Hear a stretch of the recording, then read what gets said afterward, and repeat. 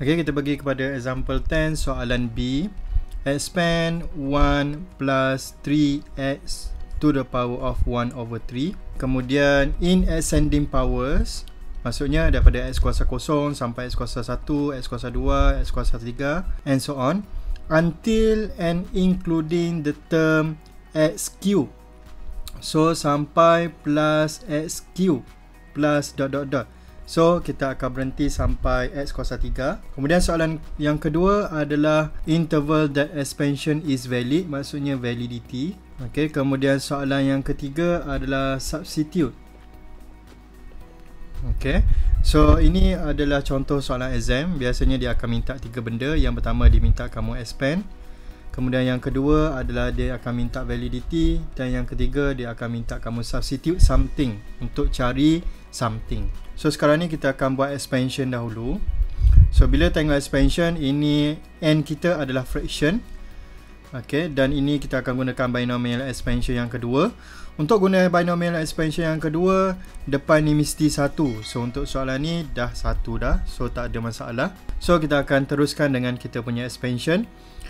1 plus 3x to the power of 1 over 3 is equals to 1 plus 1 over 3 times 3x plus 1 over 3 times negative 2 over 3 over 2 factorial times 3x square plus 1 over 3 times negative 2 over 3 times negative 5 over 3 over 3 factorial times 3x cube plus dot dot dot.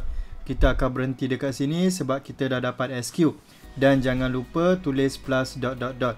Ok kemudian kita solvekan dia. Kita akan dapat uh, 1 plus x minus x square plus 5 over 3 x cube plus dot dot dot.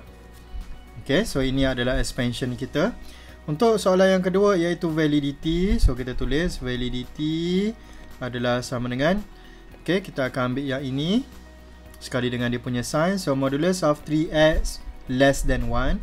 So kita akan dapat 3x less than 1 greater than negative 1. So x less than 1 over 3 greater than negative 1 over 3. So selesai untuk soalan yang kedua. Baik, soalan yang ketiga adalah dia cakap by substituting x equals to 1 over 1 to 5. Find the value of cube root of 2 to 5 decimal places. Baik, soalan ni dia bagi tahu berapa decimal places yang dia mahu. So kita akan ikut soalan. So cara dia macam ni. Kita akan ambil kita punya soalan tu iaitu 1 plus 3x to the power of 1 over 3. Kita akan gunakan soalan asal kita. Kemudian kita akan masukkan nilai x sama dengan 1 over 1 to 5. Dan kita akan cuba dapatkan cube root of 2 ni. Daripada substitution kita. Maksud saya adalah macam ni uh, ini when x equals to 1 over 1 to 5 so 1 plus 3 times 1 over 1 to 5 to the power of 1 over 3 so yang ini kita kena alter untuk dapatkan cube root of 2 so dia akan jadi macam ni. 1 plus 3 over 1 to 5 to the power of 1 over 3 yang ini kita kena fikir banyak sikit lah. Ok lepas tu nak buat apa? Ok kita boleh uh, samakan dia punya denominator. Ini 1 to 5 so sini adalah 1 to 8 to the power of 1 over 3 kemudian kita kena ingat kita nak dapatkan 2 ni. Ok kita nak dapatkan cube root of 2 so 128 adalah sama dengan 2 darab 64 per 125 ok 128 adalah sama dengan 2 uh, darab 64 Kenapa saya guna 2 Sebab saya nak dapatkan Cube root of 2 ni. Ini kuasa 1 per 3 So dia akan jadi 2 kuasa 1 per 3 Darab dengan 64 kuasa 1 per 3 Per 125 kuasa 1 per 3 So kita akan dapat 4 per 5 Darab dengan 2 kuasa 1 per 3 meaning that kita dah dapat dah apa yang kita nak iaitu 4 per 5 cube root of 2 so apa yang kita nak buat sekarang? Baik kita akan substitute X sama dengan 1 per 125 dekat left hand side dan juga right hand side. Maksud saya dia akan jadi macam ni. 1 tambah 3 darab 1 per 125 ini semua sekali kuasa 1 per 3 adalah sama dengan 1 tambah 1 per 125 tolak 1 per 125 kuasa 2 tambah 5 per 3 1 per 125 so kita tengok balik apa yang berlaku. Tadi saya dah substitute ok uh, 1 per 125 kat sini. So bila kita buat kita akan dapat yang ini. Kemudian kita tengok balik kita punya expansion.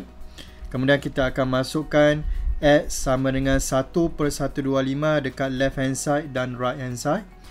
Untuk left hand side kita akan dapat 4 per 5 cube root of 2 Okey, datanya daripada mana? Datanya daripada sini yang kita selesaikan. Yang right hand side kita kena tekan calculator. Okey, tekan calculator kita akan dapat jawapan dia 1.00797. Okey, soalan mahu 5 decimal places. Tapi dalam jalan kerja kena ingat kena bagi lebih satu. Okey, working step. Okey, mesti uh, lebih satu uh, decimal places daripada final answer daripada final answer ingat eh working step mesti lebih satu decimal places daripada final answer final answer untuk soalan ni dia mahu 5 decimal places so working step mesti 6 Okay, so bila dah dapat macam ni, kita mahu square root of 3. So, square root of 3 adalah sama dengan 5 per 4 darab dengan 1.5. 007937 ha, ini saya lupa tulis plus dot dot dot. Jangan lupa tulis ha. so ini adalah sama dengan jawapan dia 1.25992 5 decimal places. Ok so inilah jawapan dia. So buat kita punya statement Okay, cube root of 2 adalah sama dengan 1.25992. So, kita tengok balik untuk soalan yang ketiga ni. Apa yang berlaku adalah saya akan masukkan X sama dengan 1 per 125 dekat sini untuk cari kita punya cube root of 3. So, kita akan dapat cube root of 3 kat sini bersama-sama dengan constant yang lain dekat depan dia. Kemudian, saya akan salin balik expansion saya ni. Okay.